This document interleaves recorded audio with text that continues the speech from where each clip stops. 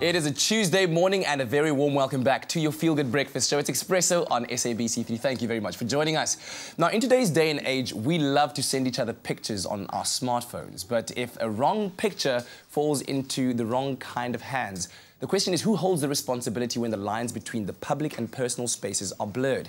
Now, a recent social media controversy has raised this issue, and social media law expert uh, Emma Sadleir is joining us on the line to chat to us about this. Emma, thank you very much for taking the call. Morning, Kat. Thank you. Nice to speak to you. So there's, of course, a risk and a responsibility that is incumbent on the person sharing the content, um, you know, on our smartphones, as I've just said. But are there any implications of sharing this kind of content if it's done by someone else in a public space? Yes, so I think that we need to talk about privacy. You know, privacy has changed in the digital age. Um, I think a lot of people think privacy doesn't exist, and it certainly does exist. The more you look after your own privacy, the more privacy you have, which sounds like quite a complicated idea. Yeah. But, but, but basically, if you've got a social media account, you're on Facebook or you're on Instagram, and you've got maximum privacy controls, um, you're careful about what you upload, you're careful about who has access to your content, then your right to privacy over that material is much higher than the person who has an open account, who mm-hmm. doesn't look after their privacy at all.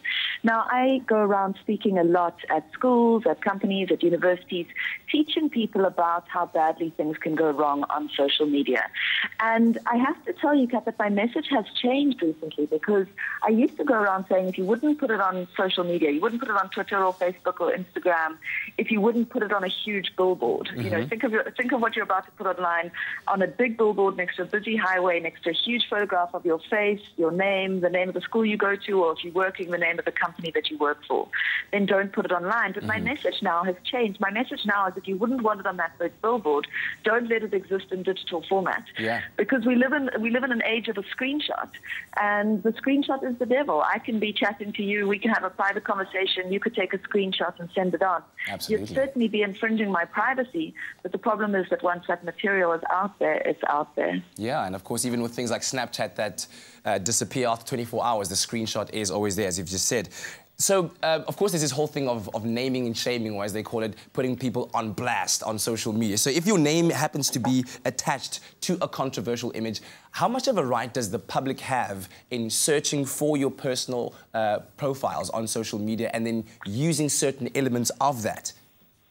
Well, in theory, I mean, I think that everybody, as soon as you're interested in somebody for whatever reason, whether you get a CV and you want to check the person out, or you've got a meeting with somebody, mm-hmm. or for some reason somebody's in the news, for example, you know, as, as we saw in the last week, we've had a few of these um, these cases, and the first thing people do is to search for that person. They want visuals. They want to see what that person looks like. Yeah. They want to see what that person um, is up to in life, because everybody has become a celebrity in the digital age. Every single person with a social media account is now a celebrity and I can find out quite intimate details about their lives um, as long as I've got their name and an internet connection. So I think that's the default is that people do that. Mm-hmm. Now, one of the things that I say in my t- my talks is that you never know when you're going to become, uh, you know the subject of, of public attention or media attention. Yeah.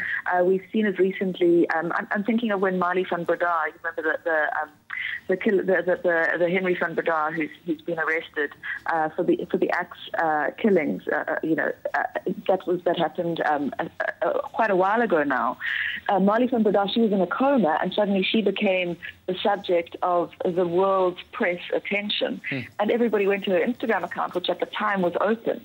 Um, you just never know, and if, if, the material is open, available for anybody to use, then the, the media kind of takes the approach that they use it, um, which is why I think that everybody should have privacy settings, but be very careful about who has access to digital content. Yeah, and of course, uh, very recently, I think in a very specific case that we can all think about because it was, uh, of course, uh, on social media, the, you know, the, the, production of this memes and uh, obviously the mm. association of family names and people's names mm. are getting dragged into this. So with regards to that, what's the responsibility of sharing this information which then further violates privacy? Yeah, well, I think everybody who shares those pictures is in the chain of publication and is responsible for that yeah. content. So just because you didn't create it, you weren't the one who went to that Facebook profile, got pictures yeah. of family members and created that meme, just by pressing the share button or sending it on, you're as responsible as the person who created it. So people do need to understand that. Um, but at the moment, our law is a little ill-equipped. You know, we deal with this category that we call revenge pornography, um, which is where people share sort of private sexual images without the consent of the person.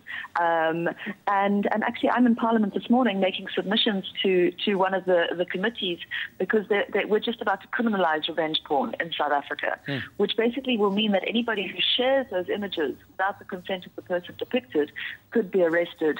And their names appearing on the sexual offenders register, which I think is long overdue, and I'm very excited that, that we are going to have these laws to try and combat this behavior. Yeah, social media law expert Emma Sadleir talking to us this morning, advising us about our responsibility when it comes to social media, even on a personal level, as, uh, as, as close as your smartphone. Emma, thank you so much for taking our call.